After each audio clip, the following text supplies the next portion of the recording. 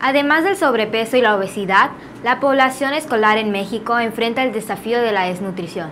Se estima que el 4.4% de los 9.9 millones de menores de 5 años tienen bajo peso. 13.9% presenta baja talla y 1.5% de es decir, una pérdida de más de 10% de su peso corporal debido a la malnutrición, lo general delgadez extrema. Se detectó que la prevalencia más alta de bajo peso se presenta en la península de Yucatán, donde 9.4% de los niños menores de 5 años tienen esta condición, seguido de las regiones Pacífico, Centro y Centro, ambas con 6%. El bajo peso en menores de 5 años se encontró en mayor medida en localidades rurales, 5.6%, y en menor proporción en las localidades urbanas, 4.1%. La baja talla es más prevalente en las localidades rurales, 18.5%, y menos en las urbanas.